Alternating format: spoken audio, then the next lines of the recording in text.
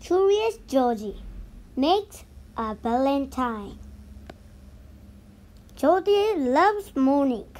Mornings that smell like waffles are the best. I made you breakfast, Georgie, said the man with the yellow hat. Happy Valentine's Day. Valentine's Day is the day we show our friends how much we care about them.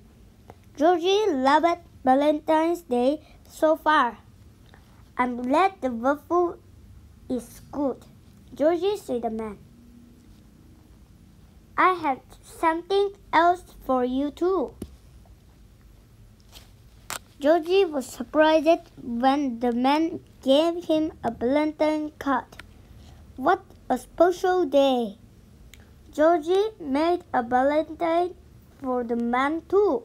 It took a long time, but it turned out great. Georgie wanted to make cards for all his friends, but that could, would take too long.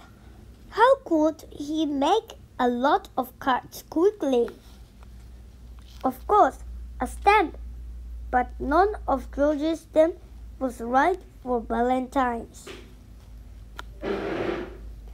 Then Georgie, as an idea, he could make a heart stamp for his foam black. Georgie was curious. What shape make a heart? Two half circles and two triangles worked perfectly. But even his new heart stamp, making enough cards would take too long. Georgie needed a way to stamp a lot of cards fast. Valentine's Day would be over soon. Maybe Georgie could stamp quickly on the pogo stick. He did stamp a lot of cards, but the pogo stick stamp was messy. Clean up took a long time. Now he really needed a super fast stamper to finish his card.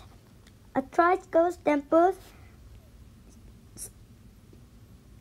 was less than less messy than the pogo stick stamper, but his card got stuck. Valentine's Day was almost over and Georgie still had only three cards. Georgie was worried. But wait, the waffle iron was unplugged and cool. Could that be the perfect stamper?